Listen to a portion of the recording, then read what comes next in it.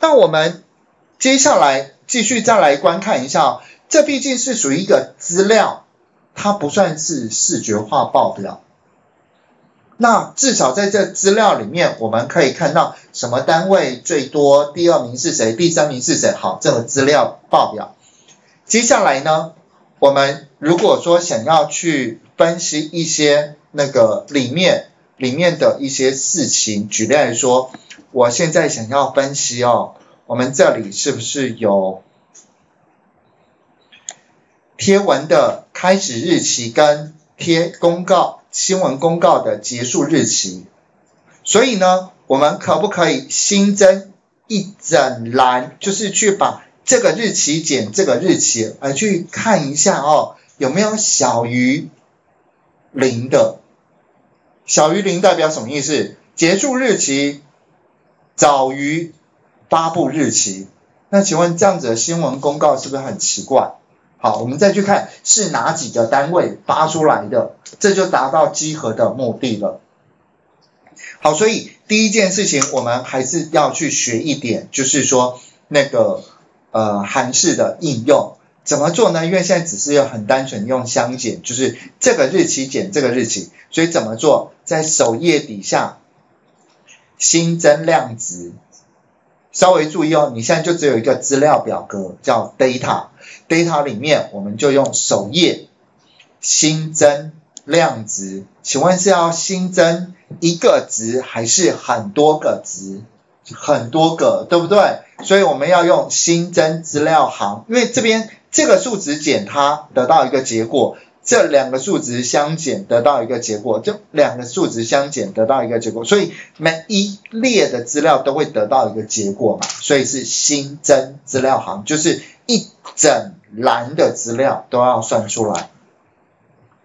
然后接下来呢，这个内容叫做什么？例如说这个内容我们应该叫做公告期好了，新闻。公告期，然后接下来我们是不是要用这个结束的日期？结束日期在这边，这个结束日期。好，所以怎么样去找到这个结束日期呢？在这边你只要知道两个取用栏、取用资料表。还有取用栏位名称的方法，怎么样取用资料表？一撇一撇，然后接下来往下去选，找到 data 里面的 start date star 这个，然后记得用 tab 键空一个，我我个人习惯是空一格啦，就是在打那个符号的时候，运算符号，好，我会。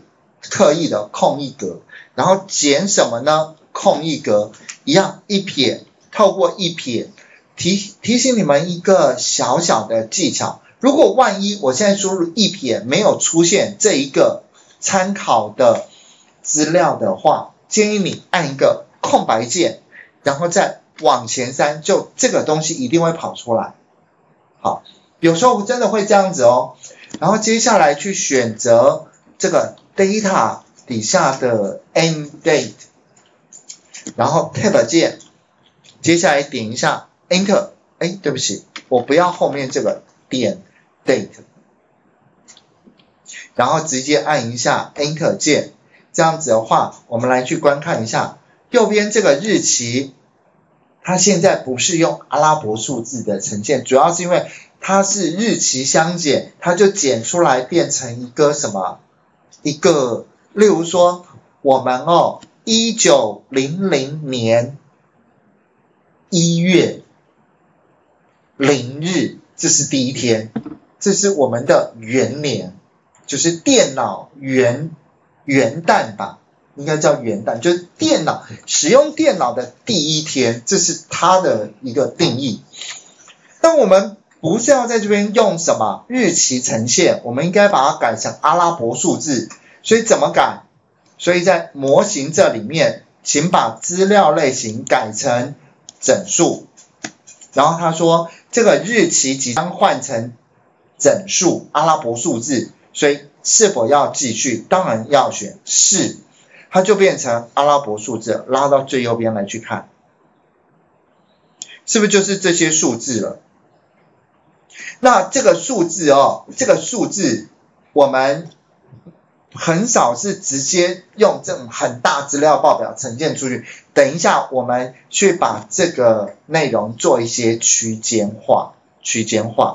好，我的意思是说，我们现在看到负七十，这就是不合理的资料。可是我希望等一下我们是在报表里面来去呈现，呃，例如说负值的。是哪几个单位做出来的？好，例如说过长的，有过长，有很长的哦。例如说拉到最右边吧，就他新闻公告，你看要提早一年前，这代表应该是打错日期，打错那个你你那个相前颠倒了，你应该 end 这哦，对不起，好，呃，稍我稍微改一下，end。